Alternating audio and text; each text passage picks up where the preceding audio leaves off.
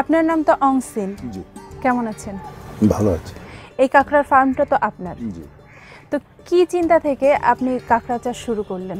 কাঁকড়া চাষ শুরুর চিন্তাটা আসছে এভাবে। আমি ছিলাম হলো বাগদা চিংড়ির প্রজননের সাথে। উনিশশো বিরানব্বই সাল থেকে দুই হাজার দশ সাল পর্যন্ত। অনেক লম্বা একটা সময়। এরপরে যখন দেখলাম যে চিংড়ির হ্যাচারি ব্যবসাটা ভালো যাচ্ছিল না তখন মাথায় চিন্তা করা শুরু করলাম যে আসলে একটা ডাইভার্সিফিকেশন নতুন একটা সেক্টর চিন্তা করা উচিত নিজেদের সার্ভাইভালের জন্য। তখন দেখলাম যে এশিয়ান কান্ট্রিগুলোতে কাঁকড়া তথা আপনার সফশেল ক্র্যাবের প্রচুর একটা ডিমান্ড শুরু হয়েছে। তখন আমরা চিন্তা করলাম যে এই লাইনে একটু এক্সপ্লোর করা উচিত। এবং আমি এবং আমার একজন কলিগ দুজনে মিলে আমরা সোর্স করলাম যে এটার কোন কোন জায়গায় সবচেয়ে বেশি উৎপাদন হচ্ছে এবং এটার ট্রেনিং বা এই টাইপের কিছু নেওয়া যায় কিনা। তখন আমরা জানলাম যে থাইল্যান্ডে ব্যাপক হারে এটা চাষ হচ্ছে। তখন আমরা গেলাম থাইল্যান্ডে দেখার জন্য এবং ট্রেনিং নেওয়ার জন্য।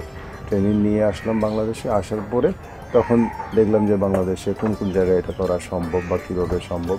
একটু সোর্স করা শুরু করলাম স্টাডি করা শুরু করলাম, দেখলাম যে আসলেই করা সম্ভব। তখন আমি নিজে পার্সোনালি বেরিয়ে আসলাম যে চিংড়ির হ্যাচারির ওই সেক্টরের কাছ থেকে বেরিয়ে এসে শুরু করলাম যে সবসময় প্ল্যাটফর্ম বাংলাদেশ সর্বপ্রথম দুই হাজার এগারো সালে। এরপর থেকে অদ্যাবধি আমি এই চাষের সাথে সম্পৃক্ত।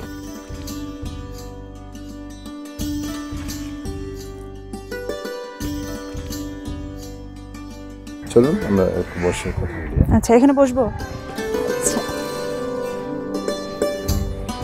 তো দাদা, আপনি শুরুটা কীভাবে করেছিলেন?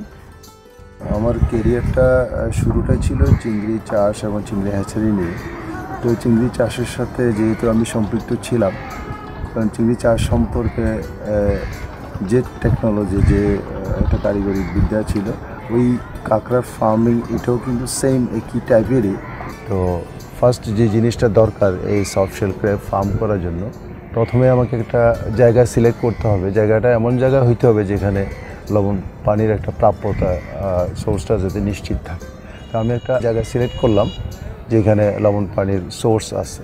এরপরে একটা পুকুর তৈরি করলাম। পুকুর তৈরি করার পরে পুকুরের মধ্যে এই যে আমরা যে ব্রিজটার মধ্যে বসে আছি, এইরকম একটা ব্রিজ করলাম। ব্রিজ করার পরে পুকুর প্রস্তুতি একটা পর্যায় যে মাটি টেস্ট করে, মাটি গুণাগুণ টেস্ট করে এটার মধ্যে লাইমিং করা, সার দেওয়া, এভাবে প্রস্তুতি করার পরে তখন লবণ পানি ঢুকানো। ঢুকানোর পরে তখন এটার মধ্যে এই যে পিভিসি পাইপের ভেলা দেখছেন, এই ভেলাগুলো আমরা একটা নির্দিষ্ট সাইজে তৈরি করে বান দিয়ে পানির মধ্যে এটা ভাসায় দিলাম ভাসায় দেওয়ার পরে এই ভেলার মধ্যে কিন্তু এই যে একটা একটা বক্স প্লাস্টিকের বক্স দেখছেন, এই বক্সগুলা প্রথম অবস্থা কিন্তু বিদেশ থেকে আমদানি করা প্রয়োজন ছিল এবং আনছেও। এরপরে আমরা দেশেই এই সাইজের স্যাম্পল নিয়ে এই দেশে বানানো শুরু করছি এবং এগুলো সব দেশীয় তৈরি। এই বক্সগুলো দেওয়ার পরে তখন আমরা কাঁকড়ার আমাদের যে সাইজটা আমরা এখানে দিই সাপ্লায়ার আছে, কাঁকড়ার সাপ্লায়ার আছে, যে কেজিতে দশটা, বারোটা, তেরোটা, এই সাইজের কাঁকড়া আমরা কিনে এক একটা কাঁকড়া এক একটা বক্সের মধ্যে দিয়ে রেখে দিই।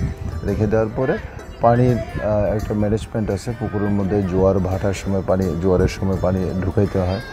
তারপরে কিছু লাইমিং করা লাগে। লাইমিং বলতে পানির গুণাগুণ যাতে ঠিক থাকে এগুলো আমরা মেনটেন করার চেষ্টা করি মেনটেন করি। আপনি যে বললেন কাঁকড়াগুলো সংগ্রহ করে একটা বক্সে একটা কাঁকড়া দেন তো কাঁকড়াগুলো সংগ্রহ করেন কোথা থেকে?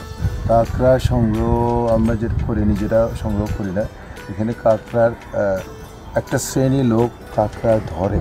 উপকূলীয় অঞ্চল ম্যানগ্রোভ থেকে কাঁকড়া ধরে ট্র্যাপ দিয়ে।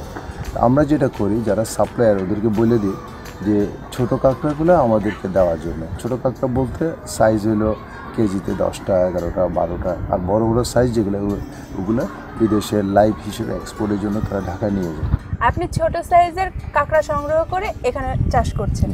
তো এখানে কি কাঁকড়ার বাচ্চা উৎপাদন করা সম্ভব না? মাদার কাঁকড়া থেকে ডিম বের করে ডিম থেকে বাচ্চা উৎপাদন প্রক্রিয়া। এটা কমপ্লিটলি সম্পূর্ণ একটা কন্ট্রোল কন্ডিশন লাগে, যেটা হ্যাচারি বলি আমরা। ওর জন্য একটা শেড লাগবে অক্সিজেন লাগবে একদম ক্লিন পানি লাগবে এবং এটার জন্য যে ফ্যাসিলিটি প্রাইমারি যে খাবার তাদের, এগুলো লাগবে। এটা আলাদা একটা অ্যারেঞ্জমেন্ট এর মাধ্যমে করা সম্ভব।